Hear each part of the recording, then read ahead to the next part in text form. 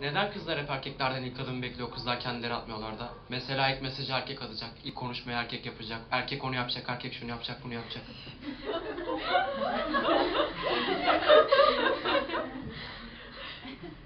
Benim yakışıklım aslan, aslan. Saçları çok güzel olmuş, yüzü de çok güzel. Böyle bayağı gösterişli delikanlı.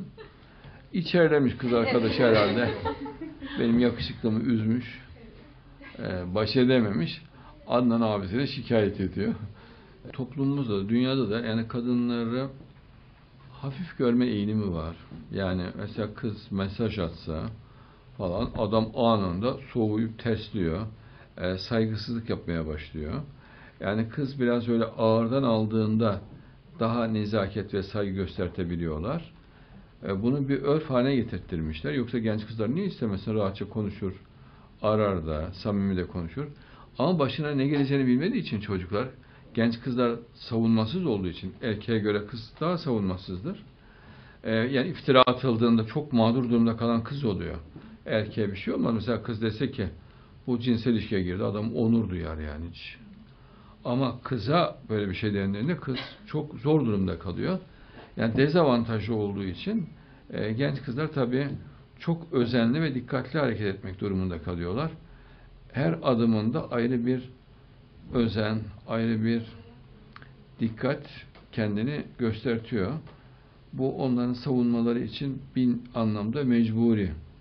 E, genç delikanlıların yapacağı şu, e, genç kızlara güvence versinler güvence verirse o genç kızlar öyle bir şey yapmaz. Diyecek ki ben senin dinine, imanına, onuruna, şerefine, namusuna Allah adına yemin ediyorum kefilim diyecek. Ve koruyacağım ve sana asla kötülük yaptırtmayacağım. Seni ölümüne koruyacağım.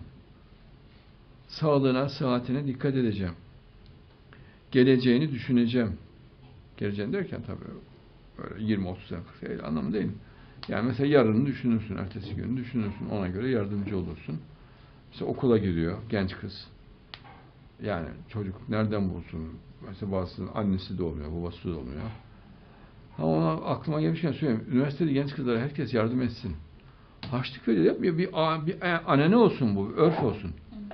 Nereden bulsun bu çocuklar parayı ya? Üniversiteli çocuklar. Baksana yemek için nasıl sıkılıyor çocuklar. Yiyecek için, şu için bunu. Üstlerine kıyafet bile alamıyorlar. Ya ne olur mesela amcası 300 lira verse mahmudu batar mı? Veya bir tanıdığı, bir sevdiği 300-400 lira verse ekonomisi mi çöker yani? Ne olur? Allah bereket getirir ya, sevaptır. Öğrencilere herkes maddi yardım yapsın. Nezaketiyle, kibarca efendim, artık kitapların arasına mı para koyuyor? Bir şey yapıyor. Bir şekilde e, mutlaka harçlık vermeleri gerekir. Çok ayıp aksi. Çok çirkin. Yani ya senin işin gücün var, kazanıyorsun. Öğrenci çocuk ta bilmem nerede okulu, otobüslerde itire kakıla gidiyor. Yazık günah değil mi ya? Bırak orada mesela çocuk sandviç alacak, yiyecek alacak. E, bir imkan tanı. Bir şey tanı ya. Ne, ne yapsın yani çocuk? Onun için ben herkeste böyle bir örfün gelişmesini rica ediyorum. Öğrenci kızlara, delikanlılara mutlaka harçlık verelim. 50 lira, 100 lira. İnsan eli kopmaz.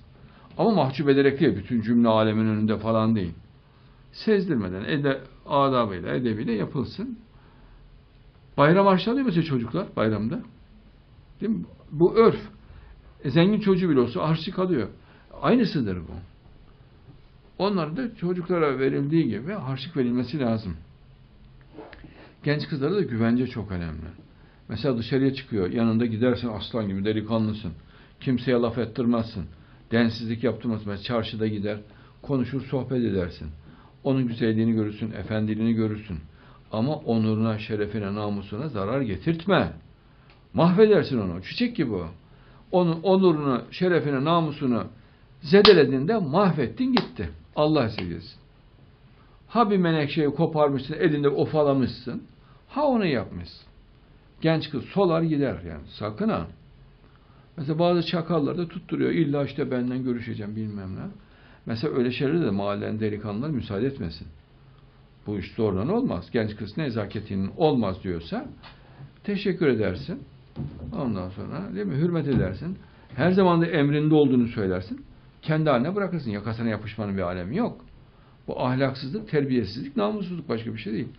Onun için genç kızları korkutan politikayı delikanlılar tamamen kaldırsınlar. Yani koruma yemini etsinler. Koruma yemini. Çünkü yemininden ölemez. Ve genç kızları dindar olmayan ama böyle gelenekçi badem falan anlamında demiyorum. Bademe bir şey demiyoruz da yani çünkü o zaten kadının dekoltesini de kabul etmez. Kadını da kabul etmez. Müziği, resmi hiçbir şey kabul etmez. Yani o durup dindar deyince gidip o kafadaki adamı kastetmiyorum. Allah'tan korkan, Allah'ı seven, Kur'an'ın yeterliğine inanan, modern gençler, modern Müslümanı kastediyorum. Onlar genç kızlara güvence versinler. O zaman hiçbir sorun çıkmaz.